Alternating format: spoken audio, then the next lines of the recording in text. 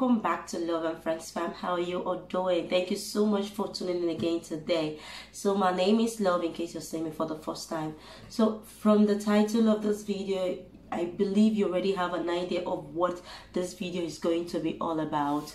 Um, guys, I almost lost my car to fire. This is no prank. This is me not joking. I don't I don't call on something like this when it didn't happen. This just happened on Thursday night at about 10 p.m. But before I go into the story, I know I'm supposed to be rejoicing right now and everything and dancing, but I'm still a little bit in shock. God knows from my heart that I am grateful how everything went at the end of the day. I can't thank God enough for His love, His faithfulness, His mercy over my life and my family. I'm still very much in shock. So before I go into this story, let me tell you a little story before this one. So about a week ago, I was on call with my mom. And after a while, and she told me, Hey, I forgot to tell you. I actually had a dream about you and I. In that dream, we sort of, you know, we had the same, you know, uniform or something like that. And all of a sudden, I saw you crying. And I came out asking you, why are you crying? Why are you crying? And you said uh, somebody tore your clothes, like my dress or something that I was wearing, that somebody tore the, the dress Yes, Ricky, my son is knocking. Hold on, guys, please. Sorry, guys, I'm back. My son Ricardo is at home today. He didn't go to school because the school is closed for today, just for today. So, guys, like I was saying, he said I was crying in that dream that my somebody tore my dress, so and I, I was crying and she said uh, she started rejecting it when she woke up and said god forbid whatever it is the enemies are planning it will never come to pass and then she said you know mothers i know she didn't want me to get worried and then she said after a while or she slept again and the spirit of god told her it was actually not a bad dream that it's something and uh, I don't know, but she just told me it's not a bad dream. She looked for a way to like cover up the whole thing and told me, do not worry, it's not a bad dream. The Holy Spirit told me it's not a bad dream but I was worried because it's not like you told me I was singing and dancing or I was shedding tears of joy. You told me I was crying in the dream because somebody tore my dress. I don't think anybody would have such a dream and believe it actually means something positive. I'm not Josephina, you know, the dream teller, you know, but it doesn't sound good to my hearing. So I immediately eh, contacted, not the same day though, a day or two days later, I contacted my elder sister she's like when it comes to you know she's a prayer warrior. She actually works with a reverend father a priest in lagos. Like she she's she sees things. Like she's good. She's gifted. So i contacted i told my sister look at what mommy said she saw about me. This doesn't sound right to me. It doesn't sound good to me. Though she said to her the holy spirit told her it's something good but it doesn't seem good to me. My sister said god forbid what kind of dream is that. And then she gave me instructions on how to carry out you know prayers and everything how to reject shame disgrace you know stuffs like that. So i agreed but i didn't do the prayer uh, the day she gave it to me neither did i do the next day. So it was on wednesday night actually that i had to like you know rebuke the spirit of laziness and everything because it's not like the, the, the spirit is not willing. Sometimes the body you know the body is too lazy to like carry out instructions like this. Most especially you know you have to do these prayers at midnight. So on wednesday night i programmed um, while i was studying i programmed my phone to wake me up at about uh, 12.55 so that i could make you know i could do my prayer at 1 a.m so at 1 a.m. my uh, in 12:55 my phone rang and I got up and I went to the sitting room I, I had to force myself. I had to, you know, I read the Bible. I thanked God for everything He's done for me so far. I told Him both those I remember and those I do not remember. Lord, I am grateful. Then I read Psalm 35. Guys, if you are not yet um, acquainted or how do I put it, familiar with Psalm 35, I implore you to please do so. It's a warfare prayer. I prayed Psalm 35. I prayed so many, I prayed about two to three Psalms last night. And then I went into prayer. I was praying, I was rebuking, I was canceling. I in fact I sent back all of their evil packages back to them. I'm not like, oh my god, I can't believe love praise. I pray. I wish I pray as much as I would have, you know, love to. But laziness will not allow me. But I prayed. Lo and behold, after praying on Wednesday night, yesterday being Thursday, obviously you guys might see this video on a Saturday. So on a Thursday night, I went and picked up my kids from school. We came back and I parked outside because you sometimes in the garage there are no parking space left, and outside um, usually you know I still you still have one or two parking parking space. So I parked outside. There was just a car parked in front of me, and I parked behind that car and I left it there. And this is not the first time. Like over the years that we've been living here, I've been parking my car outside and nothing has ever happened. Guys, lo and behold, behold at about 10 p.m. the same night, somebody was horning outside. Somebody was hitting on the klaxon like, boo, boo, boo. Like, I was already on bed with my husband. I was studying though. And I was like, who is doing this? I kept quiet. But the person kept on insisting on the klaxon, like the horning. I don't, for those who don't know what klaxon is, like horn keep hitting on the horn. Like I said, no, this is like this is now too much. Though during the um during the summer period, you know, young children and the teenagers and everything, the 17, 18, you know, they make lots of noise with their motorbikes, with their cars and everything. But like this one is too much. Like this person keeps insisting on this. So my husband got up, I got up immediately, I dropped my computer, I opened up the window you know my husband was opening you know where you draw whatever for the window to open and i was opening the glass and i looked outside and i saw smoke like heavy smokes were coming up guys um i might attach a clip here and there of uh, you know the scene last night so I saw smoke. I said, Jesus, what is happening? So we ran out from the room and came to the sitting room, opened our sitting room and went to the veranda, you know. And then I saw a car on fire. The car was burning.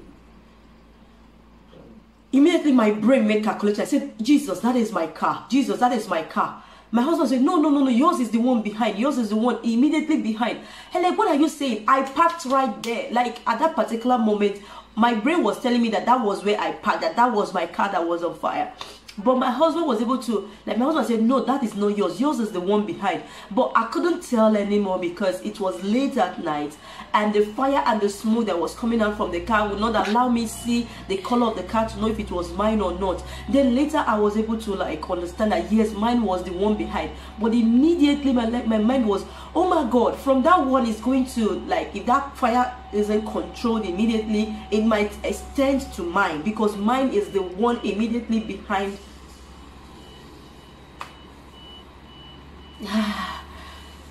oh, Jesus. See the way you love me. See the way you care for me.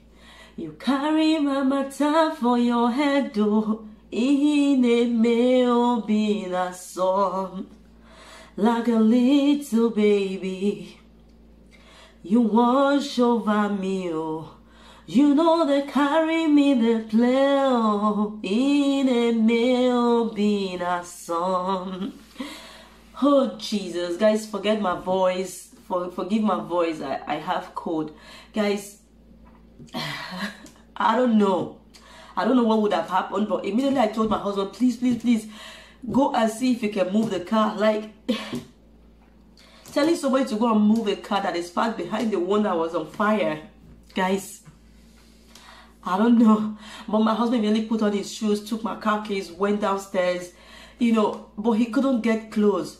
Already neighbors were out. Some people were trying to bring the fire extinguisher. Some people were bringing, you know, bowls with water and they were pouring to like, you know, somehow my husband happened to like you know move behind get into the car. While those people were working on putting that particular one off my husband immediately entered into mine and then somehow brought mine out and then moved it away from you know that particular one.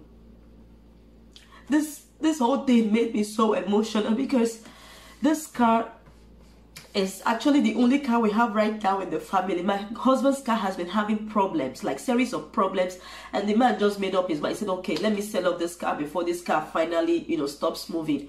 So my husband sent that car away and sold it off, and he's trying. He's still trying to like get, you know, maybe a second-hand car that he can be using because in a family, in a family two cars are needed. Though if you have one it's not a problem but two are needed because when husband goes to work and the wife and the mother has to be at home to take care of children or run school runs and everything you'll now discover that two cars are actually needed in a family. Obviously there are people that are still managing with just one car at home but it's something we're not used to. You know before my husband met me i already had my own car you know and then when we got married and after i had um, my first son my husband bought me this particular car right now that I'm talking about. So the car is still very, very much new. So I, I'm speechless, guys. So it ended well. Later, uh, we were able to call the fire brigade that came and they helped put off, you know, do the final work by putting out the fire and everything. So, guys, why am I saying this? If you call yourself a believer, you call yourself a child of God and you don't pray, you don't know how much power you're putting into the hands of the enemies or into the hands of the devil. If you call yourself a child of God and you don't take dreams seriously, you need to wake up because God reveals to redeem. Like when things are about to happen or things are about to take place, somehow somehow god reveals it. It might not be through just you. It might be through your a friend. It might be through a relative. It might be through your mom. But god reveals these things. The same thing happened to me it's about two weeks ago. I dreamt that I, a bad news was brought to me that somebody died. And when i brought it to my family group um, you know on whatsapp and i told them look at what i saw in my dream. And lo and behold my sister two of my sisters also confirmed they had similar dreams. Look god at the end of the day the spirit of death was hovering around my family. But thank god somebody else went down. Somebody else went down because the same person that gifted my father something to drink and my father ended up my family ended up throwing away that drink. The same person in less than a month the person died I am saying this, I am repeating it again. Do not take your dreams lightly. Dreams are important. Dreams are extremely important. And when instructions are given to you on how to pray or whatever, take it seriously. You don't need a pastor to pray for things to happen in your life or for God to take away whatever. You don't need it. You on your own, you can communicate directly to your God. You are his child.